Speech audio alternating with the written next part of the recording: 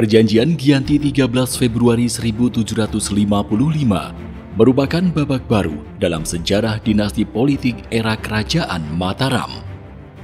Perjanjian Gianti merupakan klimaks dari perang berkepanjangan antara pihak Sunan Pakubuwono II dan VOC di satu sisi melawan koalisi Pangeran Mangkubumi dengan Raden Mas Said. Pada awalnya, Sunan Pakubuwono II kerepotan melawan pemberontakan Raden Mas Said atau yang populer dengan julukan Pangeran Sambernyawa. Sunan Pakubuwono II kemudian mengeluarkan sayembara bahwa siapa yang dapat menumpas pemberontakan akan mendapatkan hadiah tanah di daerah Sukawati atau daerah sekitar Sragen hingga Ngawi pada saat ini. Singkat cerita, Pangeran Mangkubumi berhasil meredam pemberontakan Raden Mas Said. Namun janji tanah yang diberikan tak kunjung diberikan. Alih-alih dipenuhi, justru dikurangi karena campur tangan VOC. Pada saat yang sama, Sunan Pakubuwono II justru menyerahkan tanah di kawasan sepanjang pesisir utara Jawa kepada VOC sebagai imbalan VOC telah menumpas pemberontakan kelompok Tionghoa. Kekecewaan Pangeran Mangkubumi pun memuncah. Ia berbalik dukungan dan mengobarkan perang bersama Raden Mas Said selama hampir delapan tahun lamanya. Sejarawan menyebut perang ini dengan istilah Perang Suksesi Jawa Tiga. Wilayah pertempuran hampir meliputi sepertiga wilayah Pulau Jawa dengan melibatkan 10.000 pasukan. Dalam kurun waktu itu, Kekalahan dan kemenangan silih berganti dialami kedua belah pihak. Latar belakang dari perjanjian Gianti adalah adanya uh, intervensi yang semakin mendalam dari kompeni Belanda terhadap masalah internal yang ada di dalam keraton Kartosuro atau keraton uh, Mataram. Nah, ini kemudian uh, menjadikan intrik yang semakin meruncing di antara para elit yang ada di dalam itu, termasuk kemudian antara Pangeran Mangkubumi dengan kakaknya Sunan Pakubuwono kedua. Nah, karena inilah kemudian uh, Pangeran Mangkubumi uh, mendeklar untuk uh, melawan terhadap VOC, terhadap company Belanda karena apa? Karena hegemoni VOC, hegemoni company itu sudah mengancam uh, eksistensi kekuasaan Mataram. Nah, ini berlangsung dari uh, tahun 1746 sampai nanti berakhir pada 1755.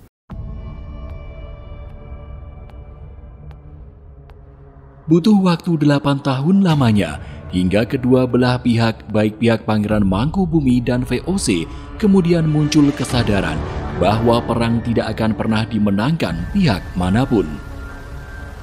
Momentum rekonsiliasi itu tiba setelah ada dua peristiwa penting. Pertama, pergantian pejabat gubernur jenderal VOC dari Van Hovenhof yang sangat dibenci Pangeran Mangkubumi ke Nicholas Harting.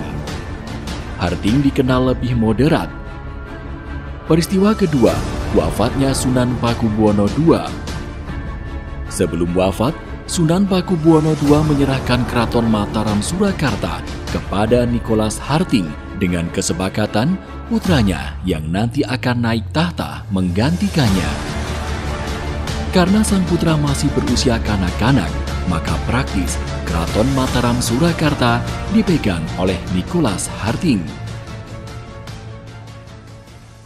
Uh, eh, VOC kemudian sadar bahwa tuntutan dari Pangeran Mangkubumi yang membagi wilayah kekuasaan Mataram menjadi dua itu merupakan satu-satunya solusi yang uh, membuka uh, rekonsiliasi di antara dua pihak itu. Nah, oleh karena itulah maka kemudian uh, pejabat gubernur yang ada di Semarang diganti dari Van Hohentoff menjadi Nicholas Harting dan Harting inilah yang kemudian membuka komunikasi, membuka dialog dengan Pangeran Mangkubumi dibantu seorang uh, uh, fasilitator seorang mediator namanya Tuan Sarif Besar yang berasal dari negeri Ngerum atau Turki.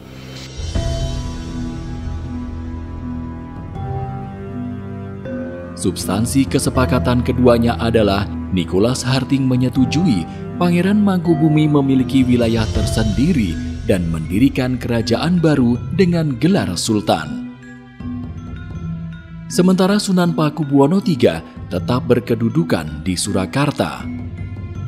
Pengesahan kesepakatan itu dilakukan di Desa Gianti yang terletak di antara wilayah Sukowati yang menjadi daerah basis Pangeran Mangkubumi dengan Keraton Surakarta.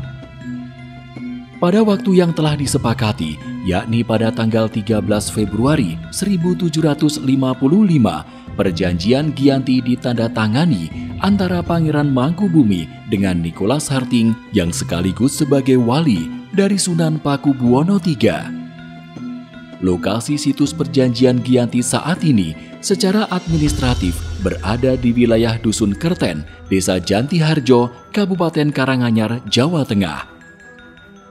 Terdapat sejumlah batu-batu besar menyerupai altar meja yang diyakini sebagai tempat dilakukannya penandatanganan perjanjian. Di tengahnya tumbuh semacam pohon beringin besar yang menjadikan tempat tersebut teduh dan memiliki hawa sejuk. Di sisi timur situs tampak menjulang Gunung Lawu. Uh, Tuan Sari Besar ini yang kemudian membuka komunikasi dengan Pangeran Mangkubumi, menyepakati uh, prinsip-prinsip yang akan disetujui dalam sebuah perjanjian, kemudian diikuti dengan pertemuan dengan Harting pada 22-23 eh, September 1754 di perdagangan Gerobokan dan di situ kemudian disepakati bahwa Pangeran Mangkubumi akan mendapatkan separuh dari kerajaan Mataram uh, Islam. Kemudian beliau mendapatkan gelar sultan separuh sen, apa namanya pusaka-pusaka yang ada di Mataram itu akan di uh, apa namanya dibagi menjadi dua lalu uh, Sunan Pakubono III tetap menjadi penguasa di uh, Surakarta. Nah, inilah kesepakatan-kesepakatan yang kemudian uh, disepakati akan ditandatangani perjanjian itu di sebuah desa namanya Gianti. Desa itu terletak antara Sukowati, markasnya Mangkubumi, dengan Surakarta, ada di tengah-tengahnya. Nah, kemudian eh, disepakati juga perjanjian itu kemudian dilaksanakan pada tanggal eh, 13 Februari 1755. Perjanjian Gianti yang sudah berusia sekitar 269 tahun yang lalu adalah momentum di mana pecahnya Kesultanan Mataram menjadi dua bagian, yaitu Kesultanan Surakarta dan Kesultanan Yogyakarta. Di satu sisi ini adalah momentum perpecahan, tetapi di sisi lain Gianti menjadi uh, momentum baru munculnya peradaban bagaimana Kesultanan Yogyakarta bisa berdiri dan menjadi satu-satunya kerajaan yang menurut saya adalah kerajaan terakhir yang menjadi pagar tradisi budaya Indonesia. Sejarah Palian Nagari atau Gianti ini tidak banyak diketahui oleh sebagian besar masyarakat, tentunya pelajar. Ada banyak upaya yang harus dilakukan oleh pihak sekolah di bidang pendidikan tentunya untuk bisa mensosialisasikan, menyebarluaskan dan memahami betul bahwa Gianti adalah cikal bakal. Kalau boleh saya sebut, DNA Yogyakarta tidak lepas dari perjanjian Gianti. Nah, kemudian satu bulan setelah perjanjian Gianti, tanggal 13 Maret 1755 atau 29 Jumadil awal 1680 uh, eh, Sultan Hamengkubuwono pertama dari Gianti pergi ke uh, Garjitowati yang sudah ditetapkan akan dijadikan sebagai uh, keraton untuk mendeklarasikan berdirinya Kasultanan Yogyakarta atau disebut sebagai Hadeging Nagari Ngayogyakarta Hadiningrat. Nah, peristiwa inilah yang kemudian dijadikan sebagai hari jadi daerah istimewa Yogyakarta.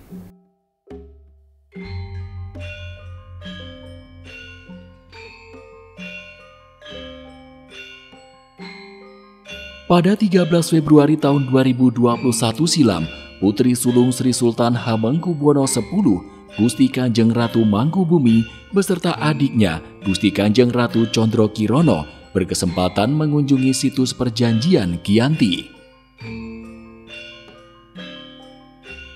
Keduanya menanam pohon sawo kecil dan pohon kandil sebagai penanda yang hingga kini sudah tumbuh membesar.